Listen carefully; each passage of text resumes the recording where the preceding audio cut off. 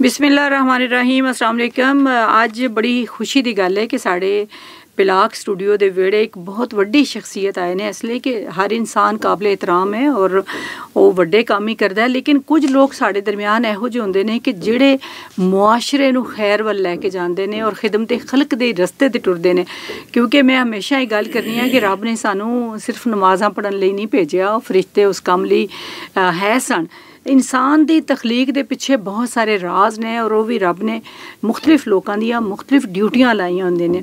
ਤੇ ਉਹ ਵੱਡੇ ਔਰ ਚੁਣੇ ਹੋਏ ਲੋਕ ਹੁੰਦੇ ਨੇ ਕਿ ਜਿਹੜੇ ਖਿਦਮਤ ਖਲਕ ਦੀ ਰਾਹ ਤੇ ਟੁਰਦੇ ਨੇ। ਐਸੇ ਵਾਲੇ ਨਾਲ ਡਾਕਟਰ ਸ਼ਹਿਰ ਯਾਰ ਇੱਕ ਰੱਬ ਦੇ ਮਹਿਬੂਬ ਔਰ ਪਸੰਦੀਦਾ ਬੰਦਿਆਂ ਵਿੱਚ ਨੇ ਕਿਉਂਕਿ ਉਹ ਰੱਬ ਦੀ ਮਖਲੂਕ ਲਈ ਕੰਮ ਕਰ ਰਹੇ ਨੇ ਔਰ ਇਹਨਾਂ ਨੇ ਇੱਕ ਕੈਂਸਰ ਹਸਪੀਟਲ ਬਣਾਇਆ ਔਰ ਜਦੋਂ ਉਸ ਹਸਪਤਾਲ ਦੀ ਮੀਟਿੰਗ ਹੋਈ ਔਰ ਅਲੇ ਉਹਦੇ ਖਦੋਖਾਲ ਮੁਤੈਨ ਕੀਤੇ ਜਾ ਰਹੇ ਸਨ ਤੇ ਉਸ ਮੀਟਿੰਗ 'ਚ ਮੈਨੂੰ ਵੀ ਜਾਣ ਦਾ ਮੌਕਾ ਮਿਲਿਆ ਤੇ ਮੈਨੂੰ ਲੱਗਦਾ ਨਹੀਂ ਸੀ ਕਿ ਸ਼ਾਇਦ ਹਸਪਤਾਲ ਬਣੇਗਾ, ਐਡੀ ਛੇਤੀ ਮੈਂ ਕਿ ਲੋਕ ਇਰਾਦਾ ਕਰਦੇ ਨੇ ਔਰ ਖਾਹਿਸ਼ ਵੀ ਰੱਖਦੇ ਨੇ। ਅਸੀਂ ਸਾਰੇ ਸਾਡੇ 'ਚ ਬਹੁਤ ਸਾਰੇ ਲੋਕ ਹੁੰਦੇ ਨੇ, ਲੇਕਿਨ ਪਤਾ ਨਹੀਂ ਇਹ ਕਿਸ ਤਰ੍ਹਾਂ ਡਾਕਟਰ ਸਾਹਿਬ ਬਣਾ ਲੈਣਗੇ। ਤੇ ਹੁਣ ਉਹ ਮਾਸ਼ਾਅੱਲਾ ਹਸਪਤਾਲ ਨਾ ਸਿਰਫ ਬਣ ਚੁੱਕਿਆ ਹੈ, ਬਲਕਿ ਉਹਦੇ 'ਚ 3-400 ਮਰੀਜ਼ ਵੀ ਨੇ। ਤੇ ਡਾਕਟਰ ਸਾਹਿਬ, ਬੜੀ ਮੁਹੱਬਤ ਨਾਲ ਮੈਂ ਤੁਹਾਨੂੰ ਜੀ ਆਇਆਂ ਨੂੰ ਆਖਨੀ ਆ ਤੇ ਇਹ ਮੈਨੂੰ ਦੱਸੋ ਕਿ ਹਸਪਤਾਲ ਦੀ ਨੀਂਹ ਕਦੋਂ ਰੱਖੀ ਗਈ? ਕਦੋਂ ਤੁਸੀਂ ਸ਼ੁਰੂ ਕੀਤਾ ਇਹਨੂੰ? ਤੁਹਾਡਾ ਬੜਾ ਸ਼ੁਕਰੀਆ ਮੋਹਤਰਮਾ ਸੁਗਰਾ ਸਦਫ ਸਾਹਿਬਾ। ਤੇ ਖਾਸ ਤੌਰ ਤੇ ਸ਼ੁਕਰੀਆ ਕਿ ਤੁਸੀਂ ਮੇਰੇ ਬਾਰੇ ਇੰਨੇ ਚੰਗੇ ਅਲਫਾਜ਼ ਬੋਲੇ। ਇਹ ਮੇਰੇ ਲਈ ਬੜਾ ਜਿਹੜਾ ਖੁਸ਼ੀ ਦਾ ਮੌਕਾ ਹੈ ਕਿ ਮੈਂ ਇੱਥੇ ਤੁਹਾਡੇ ਕੋਲ ਹਾਜ਼ਰ ਹਾਂ ਤੇ ਆਪਣੇ ਕੈਂਸਰ ਹਸਪਤਾਲ ਦੇ ਬਾਰੇ ਔਰ ਕੈਂਸਰ ਦੇ ਮਰਜ਼ ਦੇ ਬਾਰੇ ਔਰ ਇਸ ਮਰਜ਼ ਤੋਂ ਬਚਾਓ ਦੇ ਬਾਰੇ ਗੱਲਬਾਤ ਦਾ ਸਾਨੂੰ ਮੌਕਾ ਮਿਲ ਰਿਹਾ। ਇਹ ਹਸਪਤਾਲ ਦੀ ਬੁਨਿਆਦ ਜੀ ਅਸੀਂ 2015 ਦੇ ਵਿੱਚ ਰੱਖੀ ਰਾਇਵਿੰਡ ਦੇ ਕਰੀਬ। ਅੱਛਾ। ਤੇ ਅੱਲਾ ਦਾ ਬੜਾ ਹੀ ਕਰਮ ਹੋਇਆ ਕਿ ਜਿਹੜਾ ਪਹਿਲਾ ਸਾਡਾ ਮਰਲਾ ਸੀ ਨਾ ਜੀ ਪਹਿਲਾ ਜਿਹੜਾ ਅਸੀਂ ਪੈਰ ਚੁੱਕਿਆ ਉਹਦੇ ਵਿੱਚ ਅਸੀਂ 27 ਏਕੜ ਜ਼ਮੀਨ ਖਰੀਦ ਲਈ ਦੋਸਤਾਂ ਯਾਰਾਂ ਦੇ ਮੁਹੱਬਤ ਉਹਨਾਂ ਦੇ ਪੈਸਿਆਂ ਤੇ ਅਤਿਆਦ ਦੇ ਨਾਲ। ਵਾਹ ਵਾਹ 27 ਏਕੜ। 27 ਏਕੜ ਜ਼ਮੀਨ ਜੀ ਕਾਫੀ ਵੱਡੀ ਜ਼ਮੀਨ ਹੈ ਖਲਾਂਦੀ ਹੈ ਸਾਡੇ ਤੇ ਪੰਜਾਬ ਵਿੱਚ ਇੱਕ ਮੁਰੱਬੇ ਤੋਂ ਵੱਧ ਜ਼ਮੀਨ ਖਰੀਦ ਲਈ। ਕਿਉਂਕਿ ਜੀ ਬਾਅਦ ਦੀ ਜਦੋਂ ਮਨਸੂਬਾ ਮੁਕੰਮਲ ਹੁੰਦਾ ਹੈ ਤੇ ਫਿਰ ਜ਼ਮੀਨ ਥੁੜ ਜਾਂਦੀ ਹੈ ਫਿਰ ਜ਼ਮੀਨ ਮਿਲਣੀ ਮੁਸ਼ਕਲ ਹੋ ਜਾਂਦੀ ਹੈ ਤੇ ਨਾਲੇ ਮਹਿੰਗੀ ਵੀ ਹੋ ਜਾਂਦੀ ਹੈ। ਤੇ ਸਾਨੂੰ ਅੱਛੀ ਸਸਤੀ ਜ਼ਮੀਨ ਮਿਲ ਗਈ।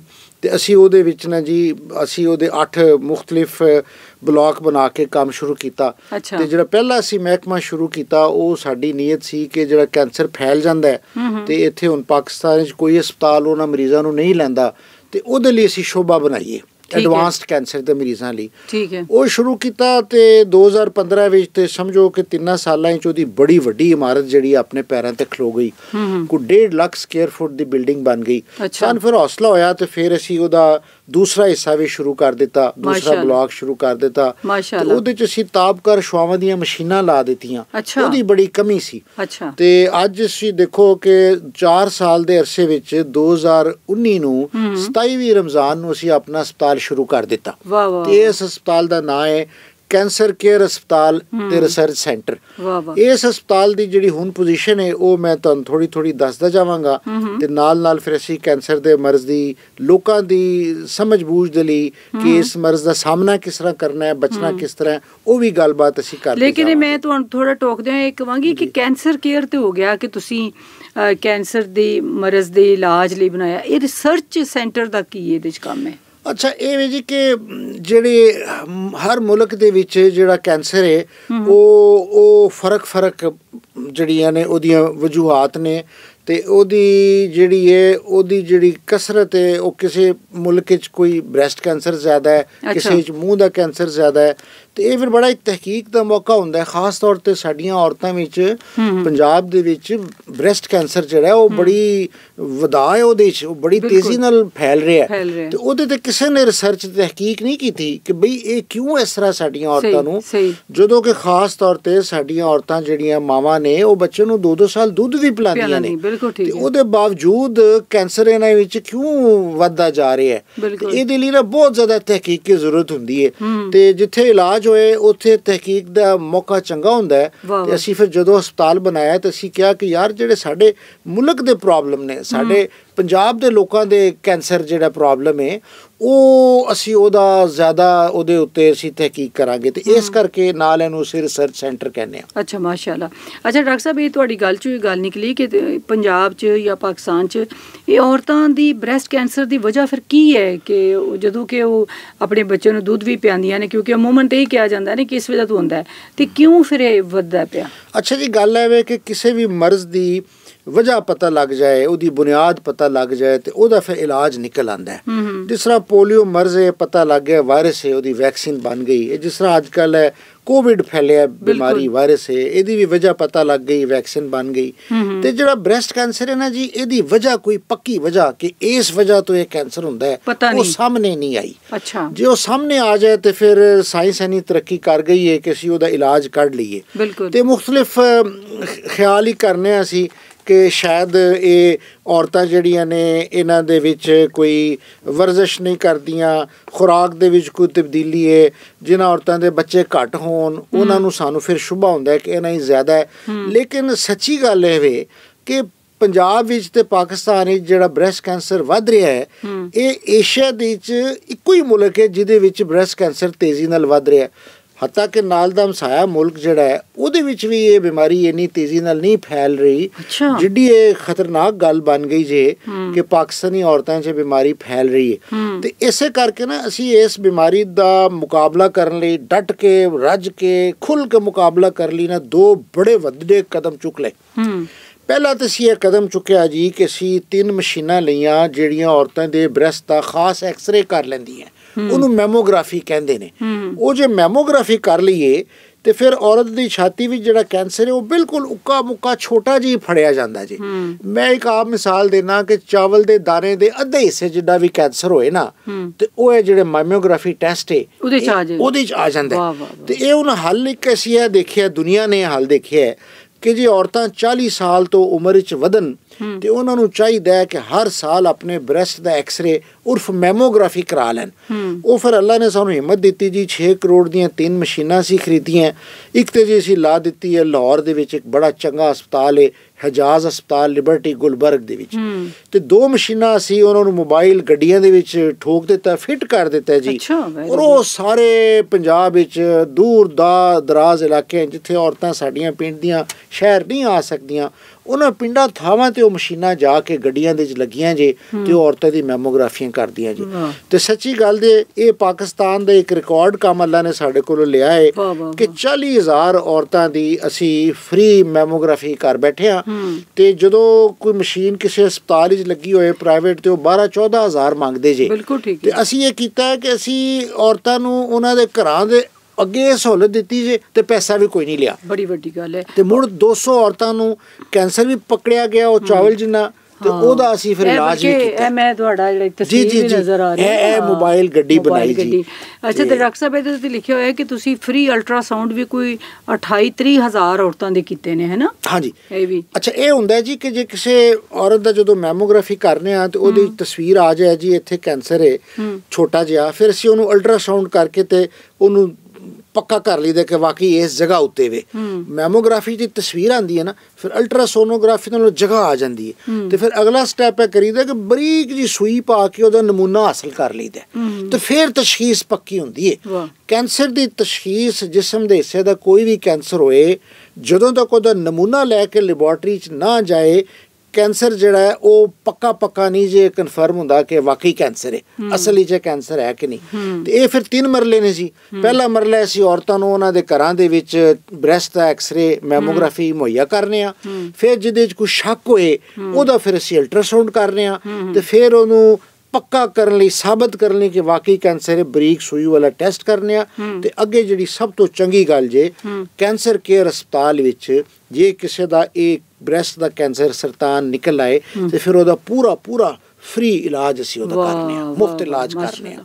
ਬੜੀ ਵੱਡੀ ਗੱਲ ਹੈ ਡਾਕਟਰ ਸਾਹਿਬ ਦੀ ਲੇਕਿਨ ਜੇ ਤੁਸੀਂ ਕਿਹਾ ਕਿ ਗੱਡੀ ਤੇ ਲੋਕਾਂ ਦੇ ਘਰਾਂ 'ਚ ਜਾ ਕੇ ਤੇ ਤੁਹਾਡਾ ਕੁਝ ਏਰੀਆ ਤੁਸੀਂ ਮੁਖਤਸ ਕੀਤਾ ਇਹਦੇ ਲਈ ਕਿ ਕਿਹੜੀ ਏਰੀਆ 'ਚ? ਸਰ ਦੇਖੋ ਜੀ ਇਹ ਸਾਡਾ ਸਾਰਾ ਪਾਕਿਸਤਾਨ ਹੀ ਏਰੀਆ ਹੈ। ਜਿਸ ਤਰ੍ਹਾਂ ਕਿਸੇ ਜ਼ਮਾਨੇ ਅੱਖੀਆਂ ਬਣਾਉਣ ਲਈ ਆਈ ਕੈਂਪ ਲੱਗਦੇ ਸੀ ਨਾ ਅਸੀਂ ਉਸੇ ਤਰ੍ਹਾਂ ਮੈਮੋਗ੍ਰਾਫੀ ਕੈਂਪ ਲਾਉਂਦੇ ਜੇ। ਤੇ 200 ਤੋਂ ਜ਼ਿਆਦਾ ਅਸੀਂ ਕੈਂਪ ਲਾ ਚੁੱਕੇ ਹਾਂ ਪੰਜਾਬ ਦੇ ਦੂਰ ਦਰਾਜ਼ ਇਲਾਕੇ ਜਨੂਬੀ ਪੰਜਾਬ ਵਿੱਚ ਖਾਸ ਤੌਰ ਤੇ ਅਸੀਂ ਮੁਲਤਾਨ ਵਿੱਚ ਡੇਰਾ ਗਾਜ਼ੀ ਖਾਨ ਡੇਰਾ ਇਸਮਾਈਲ ਖਾਨ ਫਿਰ ਬਲੋਚਿਸਤਾਨ ਡੇਰਾ ਬੁਕਟੀ ਫਿਰ ਸਿੰਧ ਵਿੱਚ ਬਦੀਨ। ਸਾਰਾ ਮੁਲਕ ਹੀ ਆਪਣੇ ਨੇ ਜੀ। ਤੇ। ਪੰਜਾਬ ਤੇ ਵੱਡਾ ਭਰਾ ਹੈ। ਤੇ ਅਸੀਂ ਸਾਰੇ ਬਾਕੀ ਛੋਟੇ ਭਰਾਵਾਂ ਦੇ ਥਾਵਾਂ ਤੇ ਜਾ ਕੇ ਤੇ ਇਹ ਅਸੀਂ ਕੈਂਪ ਲਾਣੇ ਆ ਤੇ ਫ੍ਰੀ ਮੈਮੋਗ੍ਰਾਫੀ ਜਿਹੜੀ ਆ। ਖਵਾਤੀਨ ਦਾ ਕੀ ਰਵਈਆ ਹੁੰਦਾ ਹੈ? ਕਿ ਉਹ ਉਹਨਾਂ ਨੂੰ ਹੁੰਦਾ ਨਹੀਂ ਕਿ ਕੋਈ ਨਹੀਂ ਅਸੀਂ ਤੇ ਠੀਕ ਆ ਅਸੀਂ ਕਿਉਂ ਟੈਸਟ ਕਰਾਈਏ? ਆ ਜੀ ਦੋ ਗੱਲਾਂ ਤਿੰਨ। ਇੱਕ ਤੇ ਜੀ ਇਹ ਫਿਤਰੀ ਸ਼ਰਮ ਹੋਇਆ ਔਰਤ ਕਹਿੰਦੀ ਹੈ ਜੀ ਮੈਂ ਕਿਉਂ ਟੈਸਟ ਕਰਾਵਾਂ?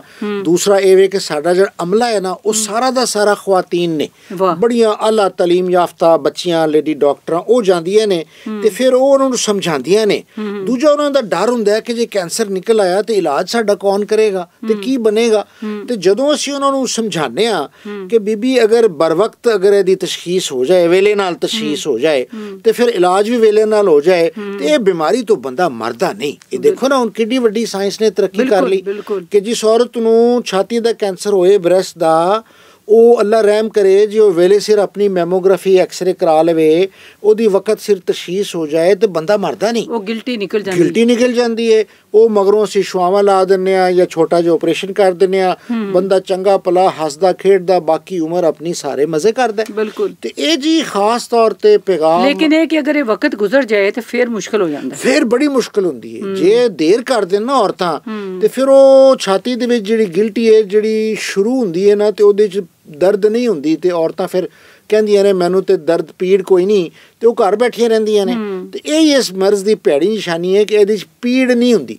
ਤੇ ਜੇ ਪੀੜ ਨਾ ਹੋਏ ਤੇ ਬੰਦਾ ਫਿਰ ਡਾਕਟਰ ਕੋਲ ਜਾਂਦਾ ਨਹੀਂ। ਔਰ ਫਿਰ ਜ਼ਹਿਰ ਫੈਲ ਜ਼ਹਿਰ ਹੈ। ਫੈਲ ਜਾਂਦਾ ਹੈ। ਅਸੀਂ। ਇਹ ਪੈਗਾਮ ਦਿੰਨੇ ਆ ਕਿ ਸਾਰੀਆਂ ਔਰਤਾਂ ਜਿਹੜੀਆਂ 40 ਸਾਲ ਦੀ ਉਮਰ ਤੇ ਪਹੁੰਚਣ ਉਹ ਬਈ ਆਪਣੀ ਮੈਮੋਗ੍ਰਾਫੀ ਲਾਜ਼ਮੀ ਕਰਾਉਣ ਤੇ ਕੈਂਸਰ ਕੇਅਰ ਹਸਪਤਾਲ ਉਹਨਾਂ ਨੂੰ ਫ੍ਰੀ ਮੈਮੋਗ੍ਰਾਫੀ ਦਿੰਦਾ ਹੈ।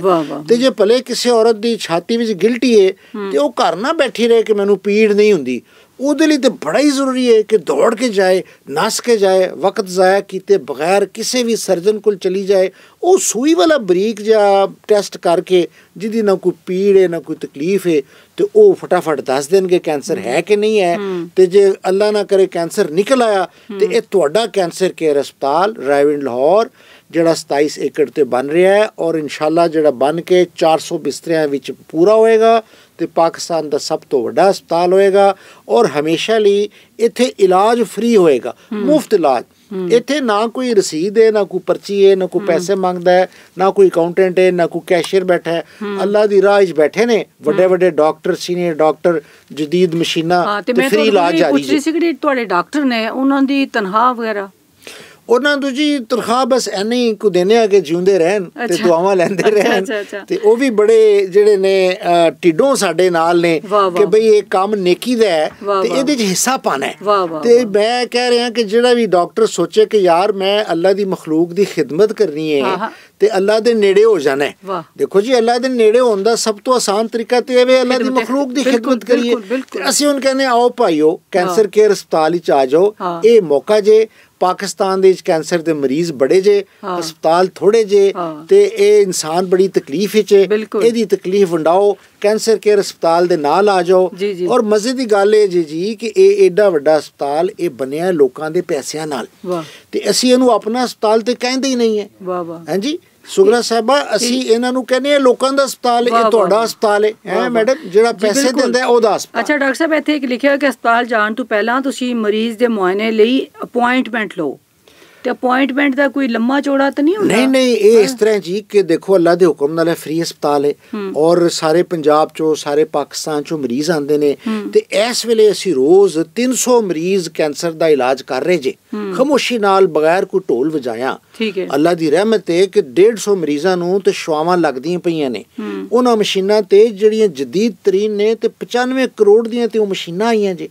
ਤੇ 150 ਮਰੀਜ਼ ਦੂਸਰਾ ਜਿਹੜਾ ਆਊਟਡੋਰ ਲੈ ਰਿਹਾ ਲਿਆਜ਼ਾ ਉੱਥੇ ਰਸ਼ ਪੈਂਦਾ ਹੈ ਤੇ ਅਸੀਂ ਕਹਿੰਦੇ ਲੋਕਾਂ ਨੇ ਨੰਬਰ ਯਾਦ ਕਰ ਲਓ। ਹੂੰ। 0 0 4 2 3 5 3 9 7 0 5 ਸਿਫਰ 5 ਸਿਫਰ 5 ਆਖਰੀ ਚਾਹੁੰਦਾ ਮੈਂ ਫੇਰ ਦੱਸ ਦਿਆਂ ਜੀ। 0 4 2 3 5 3 9 7 6 0 5 ਇੱਥੇ ਫੋਨ ਕਰੋ। ਇੱਕ ਦੋ ਦਿਨ ਦੀ ਅਪਾਇੰਟਮੈਂਟ ਮਿਲ ਜਾਂਦੀ ਹੈ। ਇਹ ਦੇਖੋ ਜੀ ਹਸਪਤਾਲ ਦੂਰ ਹੈ ਜਿੱਥੋਂ ਵੀ ਤੁਸੀਂ ਆਓਗੇ ਨੰਬਰ ਦੱਸਣ ਦਾ ਤਰੀਕਾ ਇੱਕ ਹੋਰ ਸੌਖਾ ਮੈਂ ਦੱਸਣੀ ਆ। ਕਿ 042 35 39 76 05 ਵਾਹ ਜੀ ਮੈਂ ਹੁਣ ਤੁਸੀਂ ਮੇਰੇ ਉਸਤਾਨੀ ਮੈਂ ਤੁਹਾਡਾ ਸ਼ਾਗਿਰਦ ਮੈਂ ਤੁਹਾਡੇ ਤੁਹਾਡੇ ਪਿੱਛੇ ਪਿੱਛੇ ਪੜਨਾ 042 35 39 7605 ਹਾਂ ਬਿਲਕੁਲ। ਇਹ ਤੇ ਬਹੁਤ ਆਸਾਨ ਹੋ ਗਿਆ ਯਾਦ ਅੱਛਾ ਡਾਕਟਰ ਸਾਹਿਬ ਇਹ ਤਿੰਨ ਤੁਹਾਡੇ ਲਿਖੇ ਹੋਏ ਨੇ ਥੱਲੇ। ਇਹ ਜਿਹੜੇ ਨੇ ਦੁਬਈ ਇਸਲਾਮਿਕ ਬੈਂਕ ਹੈ ਅਲਫਲਾ ਬੈਂਕ ਹੈ ਔਰ ਚਾਰਟਰਡ ਸਟੈਂਡਰਡ ਚਾਰਟਰਡ ਬੈਂਕ ਹੈ ਆਹੋ ਜੀ। ਇੱਥੇ ਤੁਹਾਨੂੰ ਅਤਿਆਤ ਲੋਕ ਭੇਜ ਸਕਦੇ ਨੇ ਹਾਂਜੀ ਇਹ ਨਾ ਜੀ ਜ਼ਕਾਤ ਜਿਹੜੇ ਨੇ ਉਹ ਆਮ ਤੌਰ ਤੇ ਅਸੀਂ ਇਕੱਠੀ ਕਰਕੇ ਤੇ ਦੁਬਈ ਇਸਲਾਮਿਕ ਬੈਂਕ ਵਿੱਚ ਭੇਜ ਦਿੰਦੇ ਆ ਤੇ ਜਿਹਨੇ। ਜ਼ਕਾਤ ਦੇਣੀ ਹੈ ਦੁਬਈ ਇਸਲਾਮਿਕ ਬੈਂਕ ਦੀ ਕਿਸੇ ਵੀ ਬ੍ਰਾਂਚ 'ਚ ਜਾਏ ਕਿ ਜੀ ਮੈਂ ਕੈਂਸਰ ਕੇਅਰ ਹਸਪਤਾਲ ਨੂੰ ਤਿੰਨ ਲਫ਼ਜ਼ ਯਾਦ ਰੱਖਣੇ ਜੀ ਕੈਂਸਰ ਕੇਅਰ ਹਸਪਤਾਲ ਨੂੰ ਜ਼ਕਾਤ ਦੇਣੀ ਹੈ। ਉੱਥੇ ਦੇ ਦੇਣ ਤੇ ਬਾਕੀ ਜ਼ਕਾਤ ਜਿਹੜੀ ਹੈ ਉਹ ਬੈਂਕ ਅਲਫਲਾ ਵਿੱਚ ਵੀ ਜਾਂਦੀ ਹੈ ਤੇ ਸਟੈਂਡਰਡ ਚਾਰਟਰਡ ਵੀ ਜਾਂਦੀ ਹੈ ਉੱਥੇ ਵੀ ਤੁਹਾਡੇ ਵੀ ਖੁੱਲੇ ਨੇ। ਸਾਰੇ ਤਿੰਨਾਂ ਬੈਂਕਾਂ 'ਚ ਜੀ ਜ਼ਕਾਤ ਦੇ ਦਿਓ ਅਤਿਆਤ ਦੇ ਦਿਓ ਤਿੰਨੋਂ ਬੈਂਕ ਨੇ ਸਾਡੇ। ਸਟੈਂਡਰਡ ਚਾਰਟਰਡ ਬੈਂਕ ਹੈ ਜੀ ਬੈਂਕ ਅਲਫਲਾ ਹੈ ਤੇ ਨਾਲੇ ਸਾਡਾ ਦੁਬਈ ਇਸਲਾਮਿਕ ਬੈਂਕ ਹੈ।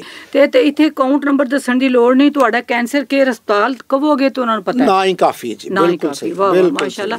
ਇਹ ਤੇ ਬੜੀ ਵੱਡੀ ਗੱਲ ਹੈ ਕਿ ਡਾਕਟਰ ਸਾਹਿਬ ਤੁਸੀਂ ਮੈਂ ਦੇਖ ਕੇ ਹੈਰਾਨ ਹੋ ਰਹੀ ਸੀ ਕਿ 2017 ਤੋਂ ਲੈ ਕੇ ਹੁਣ ਤੱਕ 1100 ਅ, ਜਿਹੜੀਆਂ ਔਰਤਾਂ ਉਹਨਾਂ ਦੀ ਫ੍ਰੀ ਸਰਜਰੀ ਹੋ ਚੁੱਕੀ ਅੱਛਾ ਜੀ ਇਹ ਦੇਖੋ ਨਾ ਜੀ?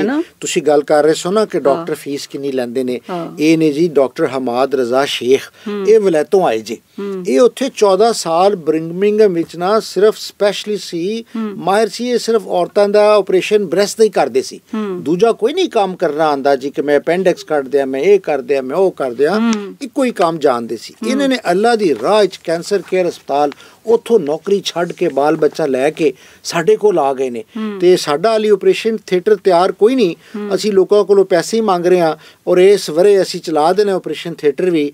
ਪਰ ਅਸੀਂ ਜਿਹੜਾ ਵਕਤੀ ਤੌਰ ਦੇ ਉੱਤੇ ਨੇ ਜੀ ਲਾਹੌਰ ਵਿੱਚ ਦੋ ਆਪਰੇਸ਼ਨ ਥੀਏਟਰ ਜਿਹੜੇ ਨੇ ਕਿਰਾਏ ਤੇ ਲਏ ਨੇ। ਤੇ ਉੱਥੇ ਉਹਨਾਂ ਦੇ ਇਹ ਡਾਕਟਰ ਹਮਾਦ ਰਜ਼ਾ ਸ਼ੇਖ ਜਿਹੜਾ ਆਪਰੇਸ਼ਨ ਕਰਦੇ ਨੇ ਜੀ ਤੇ ਫ੍ਰੀ ਅਸੀਂ ਕੋ 1100 ਆਪਰੇਸ਼ਨ ਕੀਤੇ ਜੇ ਤਿੰਨਾਂ ਸਾਲਾਂ ਵਿੱਚ ਤੇ ਕਿਸੇ ਔਰਤ ਕੋਲੋਂ ਪੈਸਾ ਨਹੀਂ ਜੇ ਲਿਆ। ਵਾਹ ਵਾਹ ਵਾਹ। ਔਰ ਡਾਕਟਰ ਸਾਹਿਬ ਦੇ ਹੱਥੇ ਸ਼ਿਫਾ ਵੀ ਇੰਨੀ ਜੇ। ਕਿ ਮਰੀਜ਼ਾਂ ਨੂੰ ਦਾਖਲ ਕਰਦੇ ਨੇ ਤੇ ਅਗਲੇ ਦਿਨ ਘਰ ਭੇਜ ਦਿੰਦੇ ਨੇ। ਤੇ ਪੈਸਾ ਵੀ ਕੋਈ ਨਹੀਂ ਤੇ ਸ਼ਿਫਾ ਵੀ। ਤੇ ਇਹ ਸਾਰਾ ਜਿਹੜਾ ਕੰਮ ਹੈ ਨਾ ਜੀ ਇਹ ਕੈਂਸਰ ਕੇਅਰ ਹਸਪਤਾਲ ਤੇ ਰਿਸਰਚ ਸੈਂਟਰ ਰਾਇਵਿੰਡ ਲਾਹੌਰ ਕਰ ਰਿਹਾ ਹੈ ਜਿਹੜਾ ਲੋਕਾਂ ਦੇ ਅਤਿਆਤ ਤੇ ਜ਼ਕਾਤ ਨਾਲ ਬਣਿਆ ਹੈ। ਤੇ ਇਹਨੂੰ ਹੁਣ ਚੱਲਦੇ ਆ ਦੂਸਰਾ ਅੱਛਾ ਸਾਲ ਡਾਕਟਰ ਹੈ। ਸਾਹਿਬ ਇਹ ਜਿਹੜਾ ਫ੍ਰੀ ਰੇਡੀਏਸ਼ਨ ਇਹ ਕੀ ਹੈ?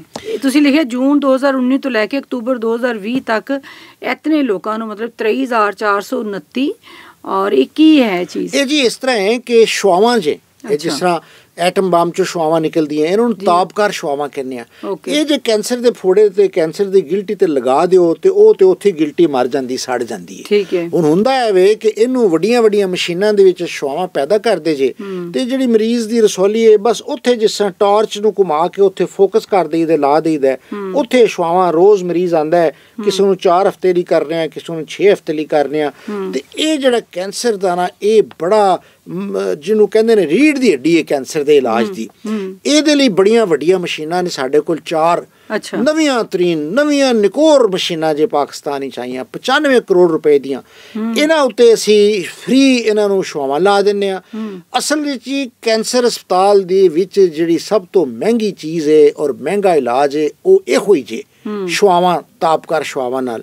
ਤੇ ਇਹਦੀ ਬੜੀ ਕਮੀ ਸੀ ਪਾਕਿਸਤਾਨ ਔਰ ਲਾਹੌਰ ਵਿੱਚ ਤੇ ਲੋਕਾਂ ਨੂੰ ਨਾ ਦੂਜੇ ਹਸਪਤਾਲਾਂ ਵਿੱਚ 6-6 ਮਹੀਨੇ ਉਡੀਕਣਾ ਪੈਂਦਾ ਸੀ ਇੰਤਜ਼ਾਰ ਕਰਨਾ ਪੈਂਦਾ ਸੀ ਸਾਲ-ਸਾਲ ਲੋਕੀ ਇੰਤਜ਼ਾਰ ਕਰਦੇ ਸੀ। ਹੁਣ ਵੇਖੋ ਨਾ ਕਿਸੇ ਔਰਤ ਦੀ ਛਾਤੀ ਕੱਟ ਦਿੱਤੀ ਆਪਰੇਸ਼ਨ ਕਰਕੇ ਤੇ ਜੇ ਉਸ ਜਗ੍ਹਾ ਤੇ ਸ਼ਵਾਵਾਂ ਨਾ ਲਾਈਏ ਤੇ ਕੈਂਸਰ ਫੇਰ ਫੁੱਟ ਪੈਂਦਾ ਜਿਸ ਤਰ੍ਹਾਂ ਬੀਜ ਕੋਈ ਡਿੱਗਾ ਰਹੇ ਤੇ ਅਗਲੇ ਵਰੇ ਫੇਰ ਫੁੱਟ ਪੈਂਦਾ ਤੇ ਔਰਤ ਵਿਚਾਰੀ ਐਡੀ ਕੁਰਬਾਨੀ ਦੇਵੇ ਵੱਡਾ ਆਪਰੇਸ਼ਨ ਕਰਾਏ ਛਾਤੀ ਲਾ ਕੇ ਸੁੱਟ ਦਈਏ ਤੇ ਜੋ ਮਗਰੋਂ ਵਕਤ ਸਿਰ ਸ਼ਵਾਵਾਂ ਨਾ ਲੱਗਣ ਤੇ ਉੱਥੇ ਕੈਂਸਰ ਦਾ ਫੋੜਾ ਫੇਰ ਬਣ ਜਾਂਦਾ ਹੈ। ਉਹਦਾ ਇੱਕੋ ਹੀ ਹੱਲ ਹੈ ਕਿ ਔਰਤ ਨੂੰ ਸ਼ਵਾਵਾਂ ਉੱਥੇ ਲਾ ਦਿਓ ਸੀਨੇ ਦੇ ਉੱਤੇ ਜਿੱਥੋਂ ਰਿਮੂਵ ਆਪਰੇਸ਼ਨ ਹੋਇਆ ਤੇ ਫਿਰ ਕੈਂਸਰ ਖਤਮ ਹੋ ਜਾਂਦਾ ਹੈ ਸ਼ਿਫਾ ਹੋ ਜਾਂਦੀ ਹੈ।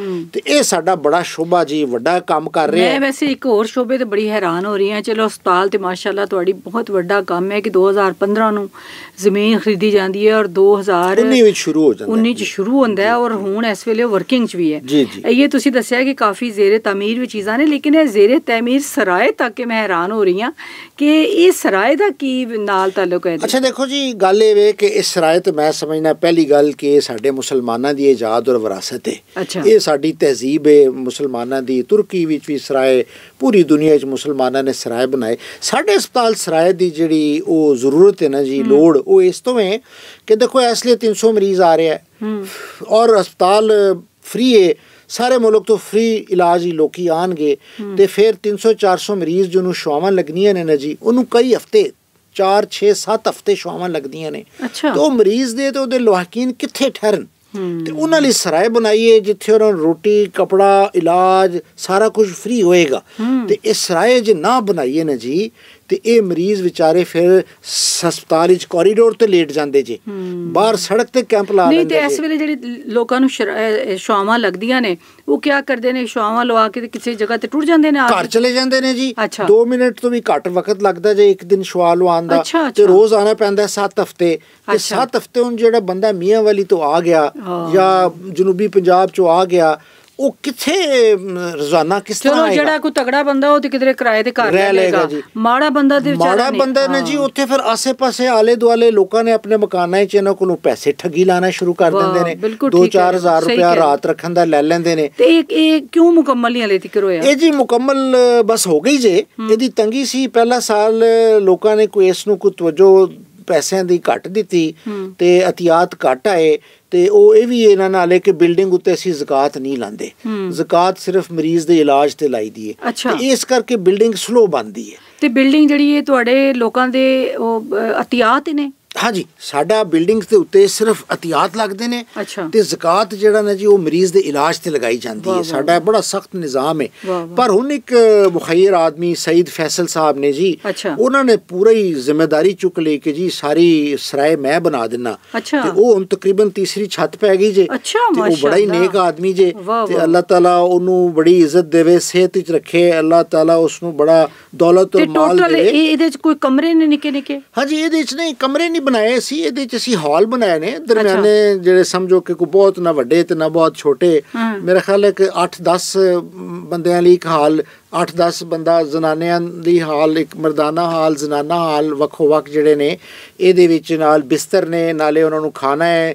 ਦੋ ਵਕਤ ਦਾ ਸਹੀ ਖਾਣਾ ਸਰਾਂ ਦਾ ਇੱਕ ਨਾਸ਼ਤਾ। ਜਿਹੜਾ ਨਾ ਉਹ ਉਹਦੇ ਚ ਨਕਸ਼ਾ ਹੈ ਬਿਲਕੁਲ, ਹਾਂਜੀ ਜਿਸ ਤਰ੍ਹਾਂ ਬਿਲਕੁਲ। ਸਾਡੇ ਸਰਾਏ ਹੁੰਦੀ ਹਾਂ, ਸੀ ਬਿਲਕੁਲ। ਜਿਸ ਤਰ੍ਹਾਂ ਮੁਸਲਮਾਨ ਬਾਦਸ਼ਾਹਾਂ ਨੇ ਮੁਖੈਰ ਹਾਂ, ਹਜ਼ਰਤ ਨੇ ਸਰਾਏ ਹਾਂ, ਬਣਾਈ ਹਾਂ, ਤੇ ਬਿਲਕੁਲ। ਇਹ ਵੀ ਜੀ ਅੱਲਾ ਦੀ ਰਾਹ ਵਿੱਚ ਸਰਾਏ ਬਣ ਗਈ ਜੇ ਹਾਂ, ਤੇ ਬਿਲਕੁਲ। ਇੱਥੇ ਮਰੀਜ਼ ਜਿਹੜੇ ਲਾਹੌਰੋਂ ਬਾਹਰ ਆਣਗੇ ਉਹ ਠਹਿਰਨਗੇ ਇਲਾਜ ਵੀ ਕਰਾਣਗੇ ਮੁਫਤ ਖਾਣ ਪੀਣਗੇ ਤੇ ਦੁਆਵਾਂ ਦੇਣਗੇ ਸਈਦ ਤੇ ਫੈਸਲ ਸਾਹਿਬ ਕਿਤਨੀਆਂ ਮੰਜ਼- ਮੰਜ਼ਲਾਂ ਨੇ ਦੀਆਂ ਇਹ ਜੀ ਤਿੰਨ ਮੰਜ਼ਲਾਂ ਨੇ ਤਿੰਨ ਮੰਜ਼ਲਾਂ, ਤੇ ਇਹ ਇਨਸ਼ਾਅੱਲਾ ਇਹ ਰਮਜ਼ਾਨ ਦੇ ਆਖਰ ਵਿੱਚ ਸਰਾਏ ਵੀ ਅਸੀਂ ਖੋਲ ਦੇਾਂਗੇ ਕਿਉਂਕਿ ਸਾਡੇ ਮਰੀਜ਼ਾਂ ਦਾ ਜ਼ੋਰ ਬੜਾ ਪੈਂਦਾ ਜਾ ਰਿਹਾ ਹੈ ਤੇ ਮੈਂ ਅਗਰ ਇਜਾਜ਼ਤ ਦਿਓ ਤੇ ਲੋਕਾਂ ਨੂੰ ਫਿਰ ਇੱਕ ਵਾਰੀ ਯਾਦ ਕਰਾ ਦਿਆਂ ਬਿਲਕੁਲ ਕਰਾਓ। ਕਿ ਭਾਈ ਕੈਂਸਰ ਕੇਅਰ ਹਸਪਤਾਲ ਪਾਕਿਸਤਾਨ ਦਾ ਪਹਿਲਾ ਹਸਪਤਾਲ ਜੇ ਜਿੱਥੇ ਪਰਚੀ ਕੋਈ ਨਹੀਂ ਜੇ ਵਾਹ, ਵਾਹ। 10 ਰੁਪਏ ਦੀ ਵੀ ਪਰਚੀ ਕੋਈ ਨਹੀਂ ਵਾਹ, ਹੈ ਵਾਹ। ਆ ਕੇ ਤੁਸੀਂ ਕਹਿਣਾ ਜੀ ਮੇਰੇ ਕੋਲ ਪੈਸੇ ਨਹੀਂ ਹੈ ਤੁਹਾਡਾ ਇਲਾਜ ਉੱਕਾ ਮੁੱਕਾ ਫ੍ਰੀ ਹੋ ਜਾਣਾ ਹੈ।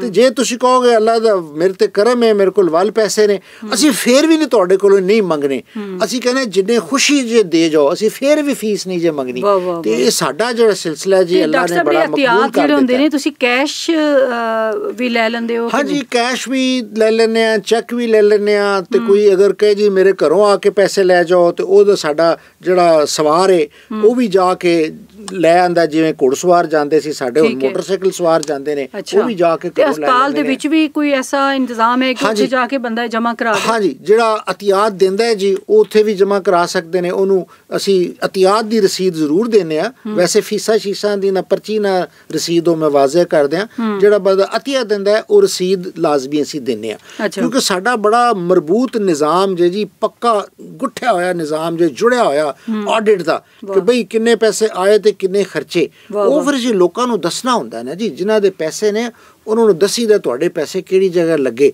ਤੇ ਫੇਰ ਹੀ ਤੇ ਲੋਕਾਂ ਨੂੰ ਇਤਮਾਨਾਨ ਹੁੰਦਾ ਹੈ ਨਾ ਜੀ ਅਸੀਂ ਮਿਸਾਲ ਬਣੀਏ ਕਿ ਇਹ ਲੋਕਾਂ ਨੇ ਸਾਨੂੰ ਪੈਸੇ ਦਿੱਤੇ ਜੇ ਤੇ ਇਹ ਅਸੀਂ ਖਰਚਾ ਕੀਤਾ ਤੇ ਤਦ ਹੀ ਸਾਡੀ ਵਾਹ ਵਾਹ ਹੋਈ ਜੀ। ਵਾਹ ਵਾਹ।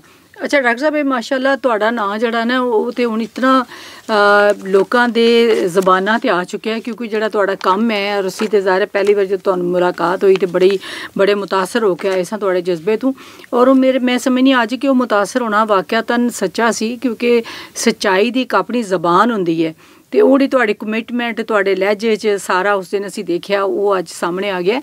ਤੇ ਡਾਕਟਰ ਸ਼ਹਿਰਯਾਰ ਦਾ ਤਾਰਫ ਕਰਾਉਣ ਦੀ ਜ਼ਰੂਰਤ ਨਹੀਂ, ਕਿਉਂਕਿ ਲੋਕਾਂ ਨੂੰ ਪਤਾ ਹੈ ਡਾਕਟਰ ਸ਼ਹਿਰਯਾਰ ਕੌਣ ਹੈ ਫਿਰ ਵੀ ਤੁਸੀਂ ਮੈਨੂੰ ਆਪਣੀ ਅਗਰ ਜੀਵਨ ਦੇ ਬਾਰੇ ਦੱਸੋ, ਤੁਸੀਂ ਕਿੱਥੇ ਪੈਦਾ ਹੋਏ, ਕਿਆ ਲਾਹੌਰੀਏ ਹੋ ਜਾਂ ਲਾਹੌਰ ਤੋਂ ਬਾਹਰ, ਔਰ ਕਿਹੜੇ ਕਿਹੜੇ ਤੁਸੀਂ ਅਚੀਵਮੈਂਟਸ ਕੀਤੀਆਂ ਨੇ ਜ਼ਿੰਦਗੀ 'ਚ ਅੱਛਾ ਜੀ, ਮੈਨੂੰ, ਮੈਂ ਕਿਹਾ ਡਰ ਗਿਆ, ਸ਼ਾਇਦ ਮੈਂ ਕਿਹਾ ਜੀ ਮੋਹਤਰਮਾ ਸੁਗਰਾ ਸਦਫ ਸਾਹਿਬਾ ਪੁੱਛਣ ਕਿਉਂ ਪੈਦਾ ਹੋਏ? ਇਹ ਤੇ ਮੁਸ਼ਕਲ ਹੋ ਜਾਏਗੀ। ਪਰ ਉਹਦਾ ਜਵਾਬ ਵੀ ਇਹ ਵੇ ਕਿ ਜੀ ਸ਼ਾਇਦ ਰੱਬ ਨੇ ਮੈਨੂੰ ਇਸੇ ਕੰਮ ਲਈ ਪੈਦਾ ਕੀਤਾ ਸੀ। ਤੇ ਮੈਂ ਬੜਾ ਰਾਜ਼ੀ ਆ ਵਾਹ, ਮੌਲਾ ਦੀ ਜ਼ਾਤ ਤੋਂ ਕਿ ਅੱਲਾ ਨੇ ਮੇਰੇ ਕੋਲ ਚੰਗਾ ਕੰਮ ਲਿਆ ਜੀ। ਤੇ ਮੈਂ ਪੱਕਾ ਖਾਲਸ ਲਾਹੌਰੀਆਂ ਜੀ ਮਾਡਲ। ਟਾਊਨ ਲਾਹੌਰ ਵਿੱਚ ਪੈਦਾ ਹੋਇਆ ਜੀ। ਤੇ 1954 ਵਿੱਚ ਪੈਦਾ ਹੋਇਆ। ਤੇ ਆਪਣਾ ਵਾਲਦਾ ਤੇ ਵਾਲਿਦ ਨੂੰ ਸ਼ੌਕ ਸੀ ਤਾਲੀਮ ਦਿਲਵਾਉਣ ਦਾ। ਤੇ ਅਸੀਂ ਪੰਜ ਭਰਾ ਤੇ ਦੋ ਭੈਣਾਂ। ਤੇ ਸਾਰੇ ਵਾਵਾ ਉਹਨਾਂ ਨੇ ਪੜਾ ਲਿਖਾ ਕੇ ਕਿਹਾ ਪੁੱਤਰੋ ਤੇ ਧੀਓ ਇਹ ਹੀ ਮੇਰੇ ਕੋਲ ਵਿਰਾਸਤ ਸੀ ਜਿਹੜੀ ਤੁਹਾਨੂੰ ਮੈਂ ਦੇ ਛੱਡੀ ਜੇ। ਅਸੀਂ ਕੋਈ ਸਮਝੋ ਤਿੰਨ ਚਾਰ ਡਾਕਟਰ ਬਣ ਗਏ ਫਾਰਮਾਸਿਸਟ ਬਣ ਗਏ ਇੰਜੀਨੀਅਰ ਬਣ ਗਏ। ਤੇ ਉਹਨਾਂ ਨੇ ਕਿਹਾ ਦੂਜਾ ਕੰਮ ਕਿ ਬੇਟਾ ਰਿਜ਼ਕ ਹਲਾਲ ਖਾਣਾ ਤੇ ਹਰਾਮ ਦਾ ਨਵਾਲਾ ਨਾ ਆਪਣੇ ਆਪ ਨੂੰ ਦੇਣਾ ਨਾ ਔਲਾਦ ਨੂੰ ਦੇਣਾ।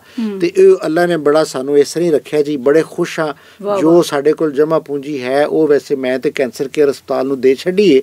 ਪਰ ਅਸੀਂ ਬੜੇ ਖੁਸ਼ ਹਾਂ। ਤੇ ਤੁਹਾਡੀ ਫੈਮਿਲੀ ਦਾ ਹੋਰ। ਵੀ ਬੰਦਾ ਤੁਹਾਡੇ ਨਾਲ ਕੋਈ ਹੈ? ਨਹੀਂ ਜੀ ਮੇਰੇ ਫੈਮਿਲੀ ਦੇ ਬੰਦੇ ਇਸ ਤਰ੍ਹਾਂ ਨਾਲ ਨਹੀਂ ਜਿਸ ਤਰ੍ਹਾਂ ਮੈਂ ਆਪਣੇ ਨਾਲ ਟੁਰਿਆ ਪਿਆ। ਬੇਗਮ ਸਾਹਿਬਾ ਮੇਰੀ ਪ੍ਰੋਫੈਸਰ ਡਾਕਟਰ ਨਬੀਲਾ ਸ਼ਾਮੀ ਉਹ ਮੇਰੇ ਤੋਂ ਵੀ ਵੱਡੀ ਡਾਕਟਰ ਜੀ ਜ਼ੱਚਾ ਬੱਚਾ ਦੀ ਤੇ ਉਹ ਬੜੀ ਖਿਦਮਤ ਕਰਦੀ ਹੈ ਕੈਂਸਰ ਦੇ ਮਰੀਜ਼ਾਂ ਦੇ ਤੇ ਸਾਡੇ ਉਹ ਨਾਲ ਹੈ ਨੇ। ਤੇ ਬਾਕੀ ਇਹ ਵੇ ਕਿ ਤੁਸੀਂ ਟੀਮ ਜਿਹੜੀ ਹੈ ਤੁਹਾਡਾ ਵੈਸੇ ਜਿਹੜਾ ਆਪਣਾ ਹੈ ਬਤੌਰ ਡਾਕਟਰ ਉਹ ਕਿਹੜੇ ਹਸਪਤਾਲ ਦਾ ਜ਼ਿਆਦਾ ਹੈ? ਦੇਖੋ ਜੀ ਮੈਂ ਅੱਗੇ ਮੈਟ੍ਰਿਕ ਕੀਤਾ ਜੀ ਇੱਕ ਉਰਦੂ ਸਕੂਲ ਤੋਂ ਮੈਨੂੰ ਬੜਾ ਫਖਰ ਹੈ। ਪਾਇਲਟ ਸਕੂਲ ਲਾਹੌਰ ਵਿੱਚ ਸੀ ਬੜਾ ਅੱਛਾ। ਆਗਾ ਸਾਹਿਬ ਹੈਡਮਾਸਟਰ ਸੀ ਉਹਨਾਂ ਦੇ ਹੱਥ 'ਚ ਬੈਦ ਹੁੰਦਾ ਸੀ। ਸ਼ੌਕ ਨਾਲ ਕਦੀ ਕਦੀ ਮਾਰ ਵੀ ਲੈਂਦੇ ਸੀ ਮਜ਼ਾ ਵੀ ਆਂਦਾ ਸੀ ਖੁਸ਼ੀ ਵੀ ਹੁੰਦੀ ਸੀ। ਉੱਥੋਂ ਪੜ੍ਹੇ ਜੀ ਤੇ ਐਫਸੀ ਕਾਲਜ ਚਲੇ ਗਏ। ਐਫਸੀ ਕਾਲਜ ਤੋਂ ਨਿਕਲੇ ਤੇ ਕਿੰਗ ਐਡਵਰਡ ਮੈਡੀਕਲ ਕਾਲਜ ਚਲੇ। ਉਥੋਂ ਪਾਸ ਕੀਤਾ ਤੇ ਫਿਰ ਪਹਿਲਾਂ ਐਫਸੀਪੀਐਸ ਕੀਤਾ ਵੱਡਾ ਇਮਤਿਹਾਨ ਜਿਹੜਾ ਕੈਂਸਰ ਦੀ ਸਪੈਸ਼ਲਾਈਜੇਸ਼ਨ ਹੈ ਉਸ ਤਰ੍ਹਾਂ ਤੇ ਦੱਸਾਂ ਤੇ ਮੈਂ ਪਾਕਿਸਤਾਨ ਦਾ ਪਹਿਲਾ ਕੈਂਸਰ ਸਪੈਸ਼ਲਿਸਟ ਹਾਂ ਜੀ। ਅੱਛਾ। ਔਰ ਅੱਜ ਅੱਲਾ ਦੀ ਬੜੀ ਮੈਨੂੰ ਫਖਰ ਔਰ ਇੱਜ਼ਤ ਹੈ ਕਿ ਮੇਰੇ ਸਟੂਡੈਂਟ ਸਾਰੇ ਹਸਪਤਾਲਾਂ 'ਚ ਕੰਮ ਕਰਦੇ ਨੇ। ਫਿਰ ਮੈਂ ਟ੍ਰੇਨਿੰਗ ਲਈ ਇੰਗਲੈਂਡ ਚਲਾ ਗਿਆ ਅਮਰੀਕਾ ਚਲਾ ਗਿਆ। ਤੇ ਫਿਰ ਮੈਂ 1991 ਤੋਂ ਬਾਅਦ ਜੀ ਪਾਕਿਸਤਾਨ ਵਿੱਚ ਹੀ ਕੰਮ ਕੀਤਾ। ਪਹਿਲੇ ਅਲਾਮਾ ਇਕਬਾਲ ਮੈਡੀਕਲ ਕਾਲਜ ਸੀ। ਫਿਰ ਮੈਂ ਕਿੰਗ ਐਡਵਰਡ ਮੈਡੀਕਲ ਕਾਲਜ ਆਪਣਾ ਸਾਰਾ ਵਕਤ ਬਤੌਰ ਪ੍ਰੋਫੈਸਰ ਗੁਜ਼ਾਰਿਆ ਕੋਈ 14 16 ਸਾਲ। ਤੇ ਨਾਲੇ ਕਾਲਜ ਆਫ ਫਿਜ਼ੀਸ਼ੀਅਨ ਸਰਜਨ ਦਾ ਮੈਂ 23 ਸਾਲ ਡੀਨ ਰਿਹਾ।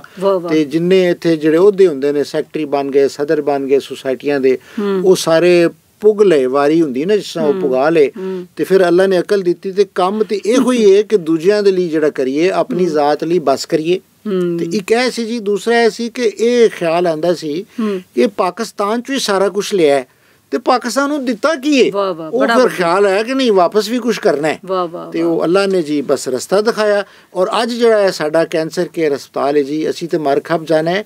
ਇਹ ਇਸ ਮੁਲਕ ਦਾ ਅਸਾਸਾ ਬਣ ਗਿਆ ਜੀ। ਸਹੀ ਗੱਲ ਹੈ। ਇਹ ਦੇਖੋ ਨਾ 400 ਬਿਸਤਰਿਆਂ ਦਾ ਹਸਪਤਾਲ ਜਿੱਥੇ ਸਾਲ ਦਾ 20000 ਮਰੀਜ਼ ਜਿਨੇ ਇਲਾਜ ਕਰਾਣਾ ਹੈ ਤੇ ਪੈਸਾ ਵੀ ਨਹੀਂ ਲੱਗਣਾ। ਤੇ ਇੱਥੇ ਜਿਹੜੇ ਮੁਖੱਇਰ ਪਾਕਿਸਤਾਨੀ ਨੇ ਇਹਨੇ ਇਹਨਾਂ ਨੂੰ ਟੋਰੀ ਰੱਖਣਾ ਜੇ। ਇਹ ਲੋਕੀ ਇੰਨੇ ਚੰਗੇ ਜੇ ਇਹਨਾਂ ਨੇ ਰੁਕਣ ਨਹੀਂ ਦੇਣਾ ਨੇਕ ਕੰਮ ਨੂੰ ਇਹ ਚੱਲਦਾ ਹੀ ਰਹਿਣਾ ਜੇ। ਤੇ ਇਹ ਇੱਕ ਬੜਾ ਅੱਛਾ ਤੋਹਫਾ ਪਾਕਿਸਤਾਨ ਨੂੰ ਅਸੀਂ ਦੇ ਕੇ ਅੱਲਾ ਕੋਲ ਜਾਵਾਂਗੇ ਤੇ ਖੁਸ਼ ਅੱਲਾਹ। ਰਵਾਂਗੇ। ਤੇ ਡਾਕਟਰ ਸਾਹਿਬ ਤੁਸੀਂ ਇਹ ਅਵਾਰਡ ਚੁੱਕਿਆ ਹੋਇਆ ਇੱਕ ਤੇ ਕੋਈ ਜ਼ਾਹਿਰ ਹੈ 36 ਸਾਲ ਤੁਸੀਂ ਕੰਮ ਕੀਤਾ ਤੇ ਬੜੇ ਅਵਾਰਡ ਉਹ ਸ਼ਾਰਟਸ ਬਥੇਰੇ ਅਵਾਰਡ ਲਏ ਪਰ ਜਿਹੜਾ ਅਵਾਰਡ ਮਰੀਜ਼ ਦੀਆਂ ਅੱਖਾਂ 'ਚ ਤਸ਼ੱਕੁਰ ਦੇ ਦੋ ਆਂਸੂ। ਡਿੱਗ ਪੈਂਦੇ ਜੇ। ਉਹ ਬੜਾ ਵੱਡਾ ਨਿਸ਼ਾਨ ਹੈ ਇੱਧਰ ਜੇ ਤੇ ਜਦੋਂ ਕੋਈ ਮੁਸਕਰਾ ਕੇ ਦੁਆ ਦੇ ਦਿੰਦਾ ਜੇ ਤੇ ਉਸ ਤੋਂ ਵੱਡਾ ਅਵਾਰਡ ਤੇ ਕੋਈ ਨਹੀਂ ਮਿਲਿਆ ਦੇਖੋ ਨਾ ਇੱਕ ਮਰੀਜ਼ ਮੇਰੇ ਸਾਹਮਣੇ ਆਂਦਾ ਹੈ ਉਹ ਕਹਿੰਦਾ ਜੀ ਮੇਰੇ ਕੋਲ ਇਲਾਜ ਦੇ ਪੈਸੇ ਨਹੀਂ ਸੀ। ਡਾਕਟਰ ਸਾਹਿਬ ਤੁਸੀਂ ਮੇਰਾ ਇਲਾਜ ਕਰ ਦਿੱਤਾ ਹੂੰ। ਇਹ ਸਾਰਿਆਂ ਤੋਂ ਵੱਡਾ ਇਲਾਜ ਜਿਹੜਾ ਇਲਾਜ ਫ੍ਰੀ ਕਰ ਦਿੱਤਾ ਹੈ ਇਹ ਸਾਰਿਆਂ ਤੋਂ ਵੱਡਾ ਅਵਾਰਡ ਮੈਨੂੰ ਤੇ ਸੱਚੀ ਗੱਲ ਜੇ ਇਹ ਹੀ ਮੈਨੂੰ ਅਵਾਰਡ ਲੱਗਿਆ ਸਭ ਤੋਂ ਵੱਡਾ। ਸੁਭਾਨ ਅੱਲਾ ਮੈਂ ਸਮਝਨੀ ਆ ਕਿ ਤੁਹਾਡੇ ਜੇ ਲੋਕ ਜਿਹੜੇ ਹੈ ਨੇ ਇਨਸਾਨ ਉਹ ਮੋਜੇ ਵਾਂਗ ਹੁੰਦੇ ਨੇ ਔਰ। ਮੁਆਸ਼ਰੇ ਵਿੱਚ ਇੱਕ ਘਣੀ ਛਾਂ ਕਿ ਜਿੱਥੇ ਧੁੱਪ, ਡਾਢੀ ਧੁੱਪ ਹੋਵੇ ਔਰ ਬੰਦੇ ਨੂੰ ਇੱਕ ਘਣੀ ਛਾਂ ਨਜ਼ਰ ਆ ਜਾਏ। ਅਸੀਂ ਡਾਕਟਰ ਸਾਹਿਬ ਦੀ ਇਹਨਾਂ ਜਿਹੜੀ ਗੱਲ ਕੀਤੀ, ਮੈਨੂੰ ਤੇ ਇਤਨਾ ਇੱਕ ਇਤਮਨਾਨ ਹੋਇਆ ਔਰ ਮੈਂ ਸਮਝਨੀ ਆ ਕਿ ਜਦੋਂ ਤੱਕਰ ਡਾਕਟਰ ਸ਼ਹਿਰ ਜੇ ਲੋਕ ਜਿਹੜੇ ਨੇ, ਵੱਡੀਆਂ ਹਸਤੀਆਂ ਸਾਡੇ ਮੁਆਸ਼ਰੇ 'ਚ ਮੌਜੂਦ ਨੇ, ਸਾਨੂੰ ਮਾਯੂਸ ਨਹੀਂ ਹੋਣਾ ਚਾਹੀਦਾ ਜਿਹੜੇ ਅਸੀਂ ਅਕਸਰ ਹੋ ਜਾਂਦੇ ਆ ਕਿ ਇਹ ਹੋ ਗਿਆ, ਤੇ ਹੋ ਗਿਆ। ਕਿਉਂਕਿ ਇਹਨਾਂ ਦੇ ਕਰਮ ਔਰ ਖੈਰ ਰੱਬ ਵੱਲੋਂ ਇਹ ਜਿਹੜੀਆਂ ਡਿਊਟੀਆਂ ਦਿੱਤੀਆਂ ਹੋਈਆਂ ਨੇ, ਇਹਨਾਂ ਦੇ ਨਾਲ ਮੁਆਸ਼ਰਾ ਇਨਸ਼ਾਅੱਲਾ ਇੱਕ ਠੀਕ ਸਮਝ ਜਾਏਗਾ। ਤੇ ਸਭ ਤੋਂ ਵੱਡੀ ਜਿਹੜੀ ਗੱਲ ਡਾਕਟਰ ਸਾਹਿਬ ਮੈਨੂੰ ਮੁਤਾਸਰ ਕੀਤੀ ਤੁਹਾਡੀ, ਉਹ ਹੈ ਜ਼ਾਰਾ ਸਾਰੀ ਤੁਹਾਡੀ ਕਾਰਕਰਦਗੀ, ਸਾਡਾ, ਸਾਰਾ ਸਫ਼ਰ ਇੱਕ ਮਿਸਾਲ ਹੈ। ਲੇਕਿਨ ਜਦੋਂ ਮੈਂ ਅਕਸਰ ਇੱਥੇ ਦੇਖਿਆ ਕਿਸੇ ਮਰੀਜ਼ ਨੂੰ ਮਿਲਣ ਚਲੇ ਗਏ ਜਾਂ ਆਪਣੇ ਮੇਰੇ ਕੋਈ ਜ਼ਾਤੀ ਵਾਲਦਾ ਸਾਹਿਬਾ ਦਾਖਲ ਸਨ ਤੇ ਮੈਂ ਦੇਖਦੀ ਸਾਂ ਕਿ ਮੈਨੂੰ ਤੇ ਸਰਕਾਰੀ ਮੁਲਾਜ਼ਮ ਹੋਣ ਦੇ ਹਵਾਲੇ ਨਾਲ ਕਮਰਾ ਵੀ ਮਿਲ ਗਿਆ ਸਾਰਾ ਕੁਝ ਲੇਕਿਨ ਮੈਂ ਲੋਕਾਂ ਨੂੰ ਤੱਕਦੀ ਸਾਂ ਰਾਹਦਾਰੀਆਂ ਵਿੱਚ ਲੇਟੇ ਨੇ ਔਰ ਬਾਹਰ ਔਰ ਬੁਰੇ ਹਾਲ ਆਮ ਆਦਮੀ ਨੂੰ ਬੜੀ ਆਮ ਆਦਮੀ ਤਕਲੀਫ ਹੈ ਨਾ? ਅੱਛਾ ਉੱਥੇ ਤੇ ਮੈਂ ਕਹਿੰਦੀ ਆ ਕਿ ਉਹ ਜਿਹੜਾ ਸਿਹਤਮੰਦ ਲੋਕ ਨਾਲ ਆਉਂਦੇ ਨੇ ਉਹ ਵੈਸੇ ਬਿਮਾਰ ਹੋ ਜਾਂਦੇ ਜੀ ਹੈ ਨਾ? ਔਰ ਨੇ, ਜਿਸ। ਤਰ੍ਹਾਂ ਮਰੀਜ਼ਾਂ ਦਾ ਵੀ ਹਾਲ ਕਿਉਂਕਿ ਮਰੀਜ਼ ਬਹੁਤ ਜ਼ਿਆਦਾ ਸਾਡੇ ਹੈ ਨੇ ਸ਼ਾਇਦ ਹਸਪਤਾਲ ਉਤਨੇ ਨਹੀਂ ਹੈ ਬਹੁਤ ਮਰੀਜ਼, ਹੈ ਨਾ। ਔਰ ਇਸ ਲਈ ਜ਼ਰੂਰਤ ਹੈ ਕਿ ਜਿਹੜੀ ਸਾਡੀ ਪ੍ਰਾਈਵੇਟ ਜਿਹੜੀ ਸਾਡੀ ਕਮਿਊਨਿਟੀ ਹੈ ਉਹ ਇਸ ਪਾਸੇ ਆਵਣ ਕਿਉਂਕਿ ਗਵਰਨਮੈਂਟ ਵੀ ਹਰ ਕੰਮ ਖੁਦ ਨਹੀਂ ਕਰ ਸਕਦੀ ਕਿਉਂਕਿ ਤੁਸੀਂ ਦੇਖੋ ਤਾਲੀਮ ਹੋਵੇ ਜਾਂ ਜੋ ਵੀ ਹੋਵੇ ਜਦੋਂ ਤੱਕ ਸੁਸਾਇਟੀ ਉਹਦੇ ਚ ਆਪਣਾ ਹਿੱਸਾ ਨਹੀਂ ਪਾਉਂਦੀ ਔਰ ਸੁਸਾਇਟੀ ਹਿੱਸਾ ਵੀ ਕਿਸ। ਤਰ੍ਹਾਂ ਪਾਉਂਦੀ ਹੈ ਕਿ ਸੁਸਾਇਟੀ ਵੀ ਰਲ ਕੇ ਆਪਣੇ ਪੈਸੇ। ਜਿਸ ਤਰ੍ਹਾਂ ਤੁਹਾਡਾ ਹਸਪਤਾਲ ਹੈ ਉਹਦੇ ਚ ਉਹਨਾਂ ਨੇ ਕੀਤਾ ਹੈ ਨਾ। ਔਰ ਇਹ ਸਰਾਂ ਦਾ ਜਿਹੜਾ ਸਰਾਏ ਦਾ ਬਣਾਉਣ ਦਾ ਖਿਆਲ ਹੈ ਵੀ ਮੇਰੇ ਖਿਆਲ ਹੈ ਕਿ ਕਿ ਇਨਸਾਨ ਦੇ ਤਕੱਦਸ ਨੂੰ ਵਕਾਰ ਨੂੰ ਬਹਾਲ ਕਰਨ ਦੀ ਕੋਸ਼ਿਸ਼ ਹੈ ਕਿ ਉਹ। ਰੁਲਦਾ ਨਾ ਰਵੇ ਉਹ ਇੱਕ। ਇੱਜ਼ਤ ਨਾਲ ਆਣ ਕੇ ਆਪਣੀ ਥਾਂ ਤੇ ਰੋਟੀ ਨਾ ਮੰਗਣੀ ਪਏ ਉਹਨੂੰ ਖਾਣਾ। ਦੇ ਦਿਓ ਉਹ ਸਫਰ ਹਾਂ। ਵਿੱਚ ਉਹ ਮੁਸ਼ਕਲ ਵਿੱਚ ਤੇ ਮੈਂ ਉਹ ਤਕਲੀਫ ਵਿੱਚ ਉਹਦੇ ਨਾਲ ਖਲੋ ਜਾਈਏ ਬਿਲਕੁਲ ਮੈਂ ਤੁਹਾਡੇ ਪੈਗਾਮ ਤੋਂ ਪਹਿਲਾਂ ਆਪਣਾ ਪੈਗਾਮ ਇਹ ਜ਼ਰੂਰ ਆਪਣੇ ਦਰਖਾਸਤ ਕਰਨਾ ਚਾਹਨੀ ਆ ਸੁਣਨ ਸੁਣਨ ਵਾਲਿਆਂ ਨੂੰ ਦੇਖਣ ਵਾਲਿਆਂ ਨੂੰ ਕਿ ਜ਼ਰੂਰੀ ਨਹੀਂ ਕਿ ਤੁਸੀਂ ਰਮਜ਼ਾਨ 'ਚ ਇਹੋ ਜਿਹੇ ਪ੍ਰੋਜੈਕਟਸ ਲਈ ਜ਼ਕਾਤ ਦਿਓ ਜਾਂ ਪੈਸੇ ਦਿਓ। ਇਹ ਤੇ ਸਾਡੇ ਕੋਲੋਂ ਹਰ ਮਹੀਨੇ ਦੀ ਇੱਕ ਜਿਹੜੀ ਹੈ ਨਾ, ਉਹ ਮੰਗ ਕਰਦੇ ਨੇ ਕਿ ਬਹੁਤ ਸਾਰੇ ਮਰੀਜ਼ ਜਿੱਥੇ ਜਿਨ੍ਹਾਂ ਨੂੰ ਬਿਲਕੁਲ ਫ੍ਰੀ ਇਲਾਜ ਹੋ ਰਿਹਾ, ਖਸੂਸਨ ਔਰਤਾਂ ਦੇ ਹਵਾਲੇ ਨਾਲ, ਕਿਉਂਕਿ ਔਰਤ ਦੀ ਜ਼ਿੰਦਗੀ ਨਾਲ ਪੂਰਾ ਘਰਾਨਾ ਜੁੜਿਆ ਹੁੰਦਾ ਹੈ। ਔਰ ਖੁਦ ਮੈਂ ਦੇਖਿਆ ਐਸੇ ਬਹੁਤ ਸਾਰੇ, ਸਾਡੀ ਰੁਖਸਾਨਾ ਨੂਰ ਬਹੁਤ ਅੱਛੀ ਦੋਸਤ ਸੀ, ਉਹ ਵੀ ਬ੍ਰੈਸਟ ਕੈਂਸਰ ਦੇ ਹੱਥੋਂ ਦੁਨੀਆ ਤੋਂ ਚਲੀ ਗਈ। ਤੇ ਉਹਦੇ ਨਾਲ ਜਿਹੜਾ ਪੂਰਾ ਖਾਨਦਾਨ ਮੁਤਾਸਰ ਹੁੰਦਾ ਹੈ ਬੱਚੇ ਘਰ ਪੂਰਾ ਘਰ ਇੱਕ ਤਰ੍ਹਾਂ ਦਾ ਡਿਸਟਰਬ ਹੋ ਜਾਂਦਾ ਹੈ ਤੇ ਇੱਕ ਹਸਪਤਾਲ ਜਿਹੜਾ ਇਤਨੀ ਕੋਸ਼ਿਸ਼ ਕਰ ਰਿਹਾ ਹੈ ਉਹਦੇ ਲਈ ਤੁਸੀਂ ਰਮਜ਼ਾਨ ਦਾ ਖਾਲੀ ਇੰਤਜ਼ਾਰ ਨਾ ਕਰੋ ਬਲਕਿ ਹਰ ਮਹੀਨੇ। ਆਪਣੀ ਬਚਤ ਚੋਂ ਥੋੜਾ ਬਹੁਤ ਵੀ ਕਰੋਗੇ ਔਰ ਅਸੀਂ ਅਗਰ ਸਾਰੇ ਕਰੀਏ ਤੇ ਮੇਰੇ ਖਿਆਲ ਹੈ ਕਿ ਉਹ ਕਤਰਾ ਕਤਰਾ ਸਮੁੰਦਰ ਬਣਨ ਵਾਲੀ ਗੱਲ ਹੈ ਔਰ ਇਹ ਹਸਪਤਾਲ ਦੇ ਨਾਂ ਜਿਹੜਾ ਉਹਨਾਂ ਦੱਸਿਆ ਦੁਬਈ ਦੁਬਈ ਇਸਲਾਮਿਕ ਬੈਂਕ ਹੈ ਅਲ ਫਲਾਹ ਬੈਂਕ ਹੈ ਔਰ started sorry standard chartered bank ਹੈ ਮੈਂ ਜ਼ਾਤੀ ਤੌਰ ਤੇ ਜੋ ਵੀ ਮੇਰੇ ਕੋਲ ਹੋਵੇਗਾ ਮੈਂ ਹਰ ਮਹੀਨੇ ਇੱਕ ਦਾ ਵਾਅਦਾ ਕਰਨੀ ਹੈ ਤੁਹਾਡੇ ਨਾਲ ਕਿ ਇਸ ਬੈਂਕ 'ਚ ਆਪਣਾ ਹਿੱਸਾ ਪਾਂਗੀ ਔਰ ਮੈਂ ਸੁਣਨ ਵਾਲਿਆਂ ਔਰ ਦੇਖਣ ਵਾਲਿਆਂ ਨੂੰ ਵੀ ਕਹਾਂਗੀ ਕਿ ਇਸ ਹਵਾਲੇ ਨਾਲ ਡਾਕਟਰ ਸਾਹਿਬ ਦੇ ਨਾਲ ਖਲੋਣਾ। ਇਹਨਾਂ ਦਾ ਜ਼ਾਤੀ ਕੰਮ ਨਹੀਂ ਹੈ। ਇਹ ਅਸੀਂ ਆਪਣੀ ਲੁਕਾਈ ਲਈ ਖਲੋਤੇ ਆ ਉਹ ਲੁਕਾਈ ਕਿ ਜਿਹੜੀ ਕੈਂਸਰ ਦੀ ਪੀੜ ਦੇ ਨਾਲ ਬਹੁਤ ਜ਼ਿਆਦਾ ਦੁਖੀ ਹੈ। ਤੇ ਅਸੀਂ ਸ਼ਾਇਦ ਉਹਨਾਂ ਦੀਆਂ ਕੋਈ ਦੁੱਖ ਕੋਈ ਪੀੜਾਂ ਘੱਟ ਕਰ ਸਕੀਏ। ਜੀਵਨ ਤੇ ਰੱਬ ਨੇ ਦੇਣਾ ਲੇਕਿਨ ਰੱਬ ਨੇ ਹੀ ਅਕਲ ਦਿੱਤੀ ਹੈ ਕਿ ਇਸ ਜੀਵਨ ਨੂੰ ਸੌਖਾ ਵੀ ਬਣਾਇਆ ਜਾ ਸਕਦਾ ਹੈ ਔਰ ਇਹਦੇ ਚ ਪੀੜਾਂ ਘੱਟ ਵੀ ਕੀਤੀਆਂ ਜਾ ਸਕਦੀਆਂ ਨੇ ਡਾਕਟਰ ਸਾਹਿਬ ਤੁਸੀਂ ਹੁਣ ਪੈਗਾਮ ਆਪਣਾ ਜੀ ਦਿਓ ਅਗਰ ਤੁਸੀਂ ਇਜਾਜ਼ਤ ਦਿਓ ਤਾਂ ਜਿਹੜਾ ਮੈਂ। ਹੁਣ ਤੁਹਾਡੇ ਕੋਲੋਂ ਸਬਕ ਸਿੱਖਿਆ ਹੈ ਕਿ ਵੀ। ਟੈਲੀਫੋਨ ਨੰਬਰ ਕਿਸ ਤਰ੍ਹਾਂ ਦੱਸਣਾ ਹੈ ਤੇ ਮੈਂ ਆਪਣਾ ਨੰਬਰ ਵੀ ਦੱਸ ਦਿਆਂ। ਪ੍ਰੋਫੈਸਰ ਡਾਕਟਰ ਸ਼ਹਿਰਯਾਰ 0321 44 11 270 ਇੰਜ। ਦੱਸਣਾ ਨਾ ਜੀ ਜੀ, ਬਿਲਕੁਲ, ਬਿਲਕੁਲ। 0321 44 11 270 ਇਹ ਮੇਰਾ ਨੰਬਰ ਜੇ ਤੇ ਜੇ ਕੋਈ ਇਲਾਜ ਮੁਆਲਜੇ ਦੀ ਵੀ ਗੱਲ ਕਰਨੀ ਹੈ ਤੇ ਮੈਂ ਹਾਜ਼ਰ ਹਾਂ। ਤੇ ਜੇ ਕੋਈ ਕੈਂਸਰ ਦੇ ਮਰੀਜ਼ਾਂ ਲਈ ਆਪਣਾ ਹਿੱਸਾ ਪਾਣਾ ਹੈ ਤੇ ਮੈਨੂੰ ਫੋਨ ਕਰੋ ਤੇ ਮੈਂ ਤੁਹਾਡੀ ਰਹਿਨੁਮਾਈ ਕਰਾਂਗਾ। ਬਾਕੀ ਪੈਗਾਮ ਵਾਲੀ ਗੱਲ ਇਹ ਵੇ ਕਿ ਜਿਹੜੀ ਵਿੱਚ ਅਸੀਂ ਥੋੜੀ ਜੀ ਗੱਲ ਛੱਡ ਗਏ ਸਾਂ ਕਿ ਇਨਸਾਨ ਜਿਹੜਾ ਉਹ ਪੈਗਾਮ ਦੇ ਸੂਰਤ ਵਿੱਚ ਜਿਹੜੀ ਮੈਂ ਗੱਲ ਕਰਨ ਲੱਗਾ ਕਿ ਖਾਸ ਤੌਰ ਤੇ ਅੱਜ ਦੇ ਦਿਨ ਅਸੀਂ ਔਰਤਾਂ ਨੂੰ ਪੈਗਾਮ ਦੇ ਰਹੇ ਹਾਂ। ਕਿ ਜਿਹੜੀਆਂ ਔਰਤਾਂ 40 ਸਾਲ ਦੀ ਉਮਰ ਨੂੰ ਪਹੁੰਚਣ ਉਹ ਆਪਣੇ ਬ੍ਰੈਸਟ ਦਾ ਐਕਸ-ਰੇ ਮੈਮੋਗ੍ਰਾਫੀ ਕਰਾ ਲੈਣ ਤੇ ਕੈਂਸਰ ਕੇਅਰ ਹਸਪਤਾਲ ਨੇ ਇਹਦਾ ਮੁਫਤ ਬੰਦੋਬਸਤ ਕੀਤਾ ਹੋਇਆ ਹੈ। ਡਰਨ ਵਾਲੀ ਗੱਲ ਕੋਈ ਨਹੀਂ ਜੇ ਬਿਮਾਰੀ ਵੇਲੇ ਸਿਰ ਫੜੀ ਜਾਏ ਤੇ ਅੱਲਾ ਦੇ ਕਰਮ ਨਾਲ 100% ਜ਼ਿੰਦਗੀ ਬਚਦੀ ਜੇ ਤੇ ਇਲਾਜ ਹੁੰਦਾ ਹੈ ਤੇ ਇਲਾਜ ਦਾ ਵੀ ਜ਼ਿੰਮੇਵਾਰੀ ਕੈਂਸਰ ਕੇਅਰ ਹਸਪਤਾਲ ਨੇ ਲਈ ਹੈ। ਤੇ ਬਾਕੀ ਸਿਹਤਮੰਦ ਜ਼ਿੰਦਗੀ ਗੁਜ਼ਾਰਨ ਲਈ ਦੋ ਗੱਲਾਂ ਯਾਦ ਰੱਖੋ। ਕਹਿੰਦੇ ਬੜੇ ਲੋਕ ਨੇ ਪਰ ਅਮਲ ਤੁਸੀਂ ਕਰਨਾ ਹੈ। ਵਰਜ਼ਸ਼ ਬੜੀ ਜ਼ਰੂਰੀ ਜੇ ਤੇ ਸਾਦਾ ਗਿਜ਼ਾ ਬੜੀ ਜ਼ਰੂਰੀ ਜੇ ਵਾਹ ਵਾਹ ਤੇ ਬਸ ਇਹ ਇਸ ਤੋਂ ਵੱਡਾ ਰਾਜ਼ ਕੋਈ ਨਹੀਂ ਦੇ ਵਾਹ। ਵਰਜ਼ਸ਼ ਬੜੀ ਜ਼ਰੂਰੀ ਜੇ ਤੇ ਸਾਦਾ ਗਿਜ਼ਾ ਬੜੀ ਜ਼ਰੂਰੀ ਔਰ ਵਰਜ਼ਿਸ਼ ਪੈਦਲ ਟੁਰ ਲਓ ਭਵੇਂ ਸਭ ਤੋਂ ਚੰਗੀ ਵਰਜ਼ਸ਼ ਜੀ ਉਹ ਪੈਦਲ ਟੁਰਨਾ ਹੈ ਜੀ ਹਾਂ, ਬਿਲਕੁਲ। ਔਰ ਸਭ ਤੋਂ ਸਾ ਗਿਜ਼ਾ ਸਾਦਾ ਉਹ ਸਬਜ਼ੀਆਂ ਫਲ ਨੇ ਤੇ ਨਾਲੇ ਜੇ ਸਿਗਰਟ ਛੱਡ ਦਿਓ ਤੇ ਤੁਹਾਡੀ ਇਸ ਕੌਮ ਤੇ ਮਿਹਰਬਾਨੀ ਹੈ ਬਿਮਾਰ ਘੱਟ ਹੋਵੋਗੇ ਤੇ ਜਿਹੜਾ ਕੈਂਸਰ ਵੀ ਨਹੀਂ ਤੁਹਾਨੂੰ ਨਹੀਂ ਹੋਵੇਗਾ। ਗੁਟਕਾ ਵੀ ਨਾ ਖਾਣਾ ਇਹ ਬਲਾ ਕਰਾਚੀੋਂ ਟੁਰੀ ਜੇ ਪੰਜਾਬ ਵੱਲ। ਉਹ ਪਾਨ ਨੂੰ ਮੂੰਹ 'ਚ ਰੱਖਦੇ ਜੇ ਤੇ ਗੁਟਕਾ ਜੇ ਖਾਂਦੇ ਜੇ ਤੇ ਪੰਜਾਬੀ ਗੱਭਰੂ ਜਵਾਨ ਜਿਹੜੇ ਨੇ ਇੱਥੇ ਵੀ ਹੁਣ ਗੁਟਕੇ ਤੇ ਲੱਗਣ ਰਹੇ ਡਏ ਜੇ ਤੇ ਇਸ ਤੋਂ ਬਚਣਾ ਵਾਹ ਤੇ ਜੇ ਤਿੰਨ ਕੰਮ ਕਰ ਲਓ ਤਾਂ ਕੈਂਸਰ ਦਾ ਖਤਰਾ 40% ਘਟ ਜਾਂਦਾ ਜੇ ਤਿੰਨੋਂ। ਕੰਮ ਮੈਂ ਦੱਸ ਦਿਆਂ ਜੀ ਤੰਬਾਕੂ ਨੋਸ਼ੀ ਤੋਂ ਜਾਨ ਛੁਡਾਣੀ ਜੇ ਬਚਣਾ ਜੇ ਵਰਜ਼ਿਸ਼ ਕਰਨੀ ਜੇ ਸਾਦਾ ਗਿਜ਼ਾ ਖਾਣੀ ਜੀ। ਤੇ ਵੇਲੇ ਸਿਰ ਆਪਣੀਆਂ ਮਾਵਾਂ ਭੈਣਾਂ ਦੀ ਮੈਮੋਗ੍ਰਾਫੀ ਕਰਾਣੀ ਜੀ। ਅਸਲਾਮ ਅਲੈਕਮ। ਵਾਹ ਵਾਹ ਵਾਹ ਬਹੁਤ ਸ਼ੁਕਰੀਆ ਡਾਕਟਰ ਸਾਹਿਬ। ਸਲਾਮਤ ਰਹੋ ਔਰ ਇਨਸ਼ਾਅੱਲਾ ਦੁਬਾਰਾ ਡਾਕਟਰ ਸਾਹਿਬ ਨਾਲ ਗੱਲ ਹੋਏਗੀ। ਰਮਜ਼ਾਨ 'ਚ ਅਸੀਂ ਕੋਸ਼ਿਸ਼ ਕਰਾਂਗੇ ਕਿ ਦੁਬਾਰਾ ਡਾਕਟਰ ਸਾਹਿਬ ਨੂੰ ਬੁਲਾਈਏ ਔਰ ਲਾਈਵ ਟਰਾਂਸਮਿਸ਼ਨ ਜਿਹਦੇ ਵਿੱਚ ਤੁਹਾਡੇ ਫੋਨ ਕਾਲਸ ਮੈਸੇजेस ਔਰ ਗੱਲਬਾਤ ਵੀ ਹੋਏਗੀ ਉਹਦੇ ਤੁਸੀਂ ਆਪਣੀ ਅਤਿਆਤ ਵੀ ਜਿਹੜੇ ਨੇ ਉਹ ਅਨਾਉਂਸ ਕਰ ਸਕਦੇ ਹੋ। ਤੇ ਸਲਾਮਤ ਰਹੋ ਔਰ ਅਸੀਂ ਇਨਸ਼ਾਅੱਲਾ ਜਿਹੜਾ ਪ੍ਰੋਗਰਾਮ ਕਰਾਂਗੇ, ਉਹ ਪਹਿਲਾਂ ਅਸੀਂ ਅਨਾਉਂਸ ਕਰਾਂਗੇ ਕਿ ਫਲਾਣੇ ਦਿਨ ਡਾਕਟਰ ਸਾਹਿਬ ਸਾਡੇ ਕੋਲ ਮੌਜੂਦ ਹੋਣਗੇ। ਬਹੁਤ ਸ਼ੁਕਰੀਆ। ਸਲਾਮਤ ਰਹੋ। ਰੱਬ ਰਾਖਾ।